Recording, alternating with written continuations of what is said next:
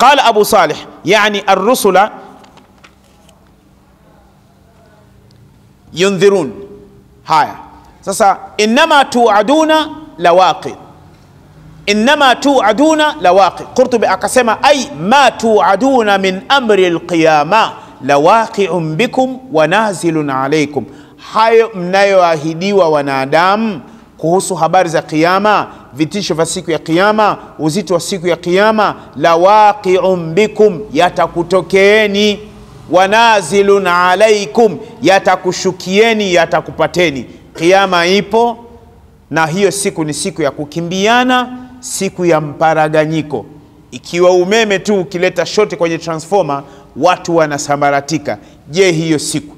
Na mungu anaisifia yauma yafiru lmaru min akhihi wa ummihi wa abihi wa sahibatihi wa banihi. Likulli mriin minhum yaumaidhin shanun yughni. Hiyo ni siku ya Kiyama ambayo inanisubiri mimi na wewe na yule na wale.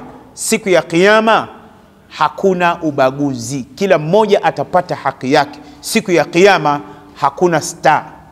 Siku ya Kiyama hakuna viewers. Siku ya Kiyama hakuna watu wa kulike sawa siku ya kiyama sijui hakuna watu wa kushare. Ulikuwa na viewers? Ni matendo yako. Ni kushare ni matendo yako. Watu watakaye kufolo ni matendo yako. Siku ya kiyama. Lakini tunapoyaeleza haya mi, sisi mashekhe mara nyingi tunakejeliwa kwamba hayapo.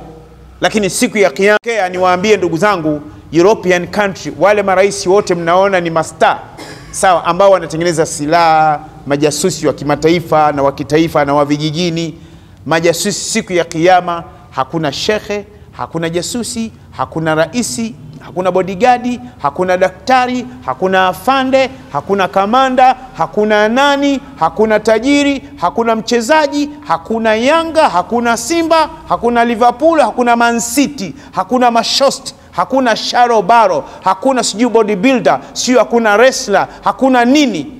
Siku hiyo siku ya kiama na mtayaona siku hiyo.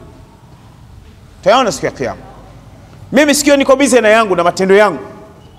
Na utaniona. Yule rusaganya. Si ndio shekhe wetu yule? Mwenye mkuu. Sasa kuniuliza yako yamekukalia hapo umebanwa? Hiyo ni siku ya kiama alafu ndugu zangu nikwambieni mnaiona hii ardhi. Yaumaidhin tuhadithu akhbaraha bianna rabbaka au hala siku ambayo ardhi hii itasema. Mnaiona hii ardhi ya mwenye mkuu? Hii ni memory card. Ina rekodi hii. Qurani ndivyo inavyosema yaumaidhin tuhadithu. Siku ambayo ardhi itasema. Ardhi itasema hii. Ya rabbi fulani na fulani kila kwenye darsa ya shekhe Rusaganya ama shekhe juma huyu alikuwa anasikiliza maneno yako anapoteza muda wake ya, muda wake ya, ya rabbi anakusikiliza wewe ardhi inakutetea. Ya rabbi huyu bana alikuwa anaonekana katika baa kule kisuma anapiga mzigo. Ya rabbi huyu jamaa alikuwa anashikwa kiunoni. Ardhi inasema yaumaidhin tuhadithu akhbara. Ardhi inasema huyu alikuwa anadanga na alikuwa anadangwa yaumaidhin tuhadithu akhbaraha. Huamini haya subiri ufe. Utadefine. Pale utakapoulizwa where you come from? Uko kaburini sasa. Na kaburini huulizwi hiyo where you come from? Ah, utaulizwa tu man, nabi, man, man rabbuk? Mungu wako ni nani? Wa waman nabiyuka mtume wako hasa ni nani? Wa ma dinuka? Dini yako ni ipi? Wa ma qiblatuka? Qibla yako ni ipi wama kitabuka? Kitabu chako mwongozo wako sheria yako ni ipi? Waman ikhwanuka? Ndugu zako ni nani? Niwaambieni ndugu zangu. Unajua pale kaburini tunapokuwa tunamfundisha yule maiti tunamfunga kamba. Hivi chukueni mfano mzuri. Kwa wale ambao mmepitia primary mpaka standard 7 au mmepitia o level na a level. Tuseme ukweli acha mitihani ya vyuo. Mtihani wa nekta kabla ya mtihani wa nekta kwa form 4 mfano huwa wanakuja watu wa wizarani watu wa manispaa kukagua wanaangalia usalama na wanakuja watu wa usalama. Na siku ile ya mtihani yupo askari pale na wapo wasimamizi. Unaweza kwenda kumfundisha mwanafunzi wako jibu? Labda kwa mfano yupo kwenye chemistry au physics au biology mara nyingi nikifananisha masomo ya dini mnakuwa hamuelewi. nafananisha yale masomo ambayo mnayaona kama ndio masomo yametoka peponi. Na kufananisheni hayo. Nikiitaja qurani mnakuwa muelewi. kwa mfano mwanafunzi kwa sababu mwanafunzi kabla ya kuingia darasani lazima asachiwe. Anachotakiwa kuingia nacho tu. Kalamu ni mbili tatu sawa. Uftio na rula. Labda kama ni siku ya masomo fulani. Lakini sasa anafika pale anakuta pa, pepa anahesabiwa. 1 2 3 4 5 are you ready? Yes. Start. Wanaanza pale. Anaangalia swali pale anaambia define the following item. What is the physics? What is the physics? Mwanafunzi iko pale tu. Atakuwa anaipiga kalamu tu siku nyingine anaifanya sawa yuko hapo. Wasimamizi wapo pale wanamwangalia mwanafunzi na hupepesi mwanangu. Halafu je mwalimu wa physics unaweza kuja kumfundisha kum, kumpa jibu pale? Kwa sababu kwanza mwalimu huruhusiwi kuingia siku ile huruhusiwi. Kwenye chumba cha mtihani. Huruhusiwi. Utaonana naye mwanafunzi akishamaliza. Huruhusiwi. Ndio anakuja "Ah, mwalimu eh, limekuja swali hili limekuja ilikuwa ah, ungelijibu hivi mwanangu nimelijibu hivi hivi mwalimu ambia okay big up. Sasa kaburini ndugu zangu nikwambieni tunamfundisha mtu. Kisha kufa utaulizwa mungu wako ni nani? Mtume wako ni nani? Kibla chako ni kipi? Huyu mtu anaingia kaburini anaulizwa mtume wako ni nani? Hata mama yake mtume hamjui mna mna habari kwamba kuna sisi waislamu mama yake mtume hatumjui sallallahu alaihi wasallam. Na kuna watu hawamjui mtume? Kazaliwa wapi?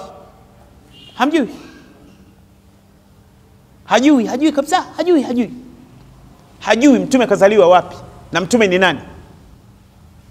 Yaani kuna mtu yani haelewi chochote kuhusu dini. Mwislamu huyo huyu ni mwezi gani? Si ndio mwezi rajab hivi mnajua kuna watu tayari wako departure pale? Washakata ticket, wanasubiri kubodi kwa ajili ya mwezi wa ramadhani kuingia msikitini. Msikiti utajaa huu si mnalijua hilo? Msikiti utajaa hivi. After ramadhan wanasepa. Wengine wanakwenda mpaka sita wanasepa. Wengine wanakwenda ishirini mfungo mosi wamesepa. Wanabakia wachache. Sasa hivi tunapomwambia pale sasa maiti alana. Ebana uliokufa hivi sasa yatika almalakani. Ni kweli anasikia. Wanakujia malaika wawili. Na ni kweli wanakuja alkarimani wema ni kweli wema. Fala yafzuaki. Shekhe huyo tunamfunga kamba. Siku ingine ile talkini naisoma mimi namfunga kamba maiti pale. Fala yafzuaki. Hajawahi kuswali yule jamaa. Na hata kuoga janaba hajui kuoga hedhi hajui. Dhalim ana watoto wa nje ya ndoa. Alikuwa ni mtu wa kugonga tu mtu wa kudanga tu. Ni mtu wa kuzinguliwa zinguliwa tu.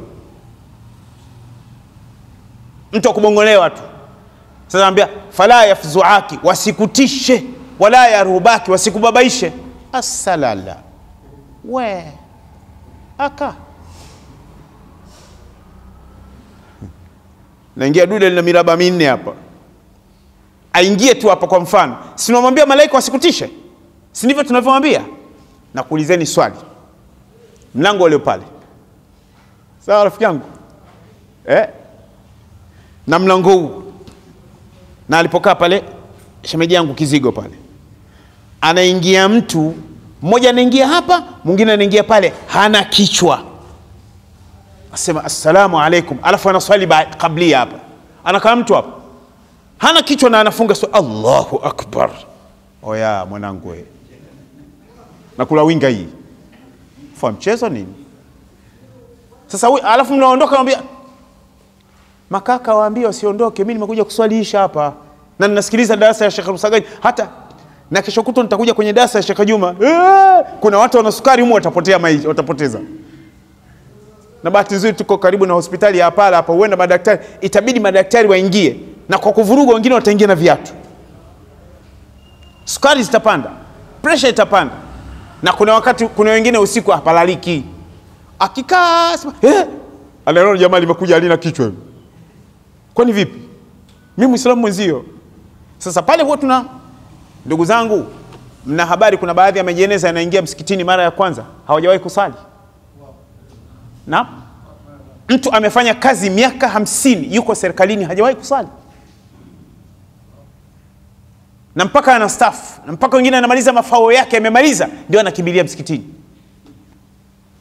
Amecheza mpira amecheza bolingo bolingo. Mtu hajawahi kusali. Ndugu zangu katika imani huwezi kuwa na thamani kwa mungu kama husali.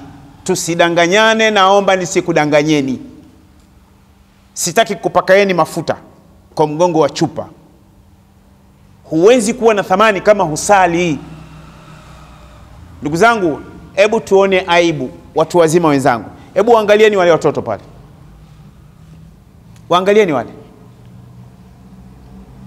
Wale wako msikitini hivi sasa, wamekuja wanasikiliza, sawa. Kuna mijitu mizima iko huko, wala. Kuna jamaa mmoja mwanangu huyo anacheza draft anacheza dhuna.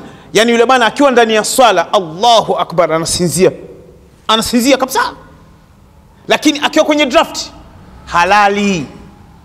Hiyo nakwambia hiyo. Watu washamfuatilia jamaa mmoja hivi alafu ana jina lake la utani. Yani akiwa kwenye draft mwanangu halali. Anasa, ana, yani anakula anakula anakula. Unajua kwenye draft huwa mnalana nyinyi? Eti kwenye draft si watu wanalana? Kaliwa. Jamaa kamla unamuuliza kamla wapi eti kwenye draft lugha ya kulana siipo, haipo. Jamaa kaliwa ambe kaliwa wapi? Kasafiri kasafiri kenda wapi? Kigoma? Katakata kaoga? Na kwenye karata kwenye karata si watu huwa wanaoana? Eti mnasemaje? Mbona mnaona aibu? Kwenye karata watu wanaoana hawaoani. Si wanaoana na mtu hamaindi. Sasa hivi hivi tu mwambie mwanaume mwenzio oya mi nakuoa alafu uone mwanangu. We! hey. moto hauzimiki hata zije faya nchi nzima. Moto hauzimi. Unaambia mwanaume mwenzio nakuoa. Lakini kwenye karata asema kaolewa. Alafu janaume linafurahi kwamba limeolewa. Mambo ya ajabu sana. Ndugu zangu kuna baadhi ya michezo naomba. Sikulazimishi. Sikulazimisheni. Lakini nadhani hebu iacheni. Alafu siku nyingine kwenye karata anaolewa mkeo na wewe mwenyewe uko subhanallah mwezi wa ramadhani. Wa bihamdi subhanallah alazim, anapigwa mkeo ndoa ya media ya karata. Na mtu kaolewa si kaolewa kweli? Kaolewa? Ebo. Ovyo. Mtoto wa kiume unakubali kuolewa? Si sahihi mwanamume kukubali kuolewa. Na ukimsikia kiongozi yoyote duniani anasema ni sahihi wanaume kuoana wao kwa wao? Yule kiongozi ni hanifi. Hana adabu. Naomba nitumie lugha hiyo. Si sahihi si sahihi si sahihi wanaume kuoana. Ni uhanifu na ni ushenzi. Tuacheni kabisa na upumbavu. Tu. Mwanamume unainama alafu unaliwa kisamvu. Ah. Alafu kishaliwa kisamvu inawekwa tishu hapana. Sasa mwenyezi mungu anasema innama tuaduna la waqi. Hakika haya mnayoahidiwa yatatokea